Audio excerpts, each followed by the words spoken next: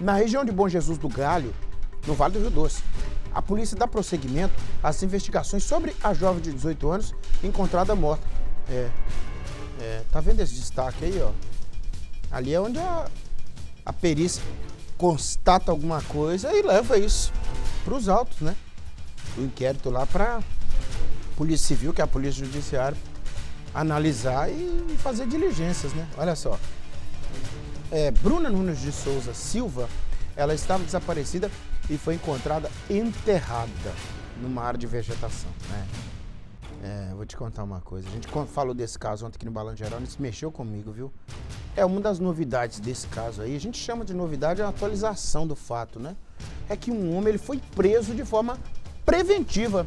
E aí, Ivan, a gente vai ver, né? Se ele tem ligação ou não com isso aí. Tá a cargo da polícia que está investigando, né, amigo? Foi em Bom Jesus do Galho. Boa tarde para você. Sim, Nico, boa tarde para você também, boa tarde a todos que estão conosco aqui no Balanço Geral. Este desdobramento aconteceu ontem mesmo. A Polícia Civil de Minas Gerais, por meio da delegacia de Caratinga, cumpriu um mandado de prisão e também de busca e apreensão contra o suspeito de cometer o feminicídio de Bruna Nunes de Souza Silva, de 18 anos de idade, na zona rural de Bom Jesus do Galho. Este homem foi preso no município de Rio Casca, em enquanto tentava embarcar em um ônibus com direção à cidade de João Monlevade. Em nota, a Polícia Civil informou que ele assumiu a autoria do crime. A gente relembra o caso, Nicomedes. A vítima foi encontrada anteontem em uma área de vegetação. Ela estava enterrada numa mata de difícil acesso.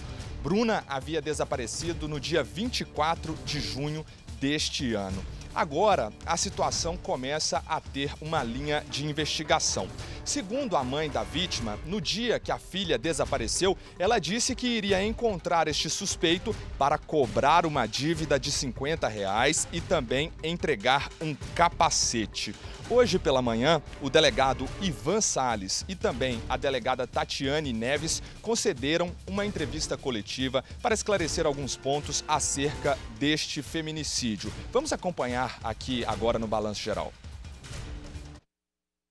Com a informação, ela também, nessa ocorrência, ela relata com quem a filha teria tido o último contato e a partir daí a Polícia Civil intimou essa, esse suspeito para oitiva.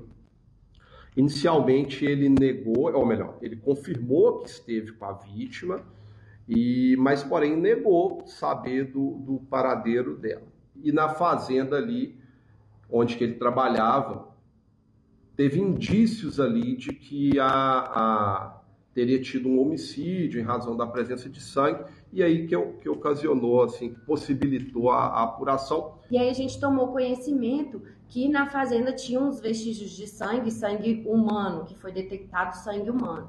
E a Polícia Civil iniciou as diligências nessa, nessa fazenda e a gente conseguiu, sobrevoando o drone, a gente com as imagens do drone, a gente conseguiu perceber que tinham vários urubus sobrevoando o local um local de muito difícil acesso e, e teria uma vala, que essa vala teria sido é, é, em razão de uma enxurrada. E em razão disso, a gente conseguiu chegar ao local e lá foi encontrado o corpo da, da vítima. Segundo as informações que a gente tem no inquérito policial, é que ele teria matado a vítima na fazenda, tanto é que as manchas de sangue foram encontradas lá, sangue humano foram encontrados lá, e aí ele teria pegado a vítima e levado para esse local de difícil acesso. E aí foi lá que a gente encontrou o corpo dela. Então ele teria matado ela na fazenda e levado para um local para é, esconder o corpo, né? Então. Está aí, portanto, a delegada Tatiana Neves e também o delegado Ivan Salles, a quem agradeço pela participação conosco aqui no Balanço Geral. Um último detalhe, Nicomedes, é que o suspeito entrou em contradição quando confessou ter cometido o crime. Primeiro, ele disse, segundo a Polícia Civil, ter sido vítima de roubo por parte dela. Só que mais adiante, diz a nota dos policiais que, sendo a motivação mais concreta, o fato da vítima ter se relacionado com uma ex-companheira do suspeito. É o que diz a Polícia Civil até o momento. Como eu falei hoje, reafirmo agora, o jornalismo da TV Leste vai continuar acompanhando este caso que deixou toda a região aqui em estado de choque e tendo qualquer desdobramento eu volto a informar aqui no Balanço Geral, né, Comedes? Sim, claro, claro, Ivan. Você traz qualquer informação desse caso. Até agradecer ao seu xará lá, né? Delegado Ivan Salles, que sempre é atento, atendendo aqui a nossa equipe, né? Nossa equipe aqui da TV Leste. Através do contato aí com o nosso diretor de jornalismo, Albuquerque Junão. Um abraço a ele e todos que estão investigando esse caso aí, né? A gente precisa trazer para a sociedade, né? O que é isso, né? Que maldade, rapaz. Ferrar a pessoa de qualquer maneira. Meu Deus. É.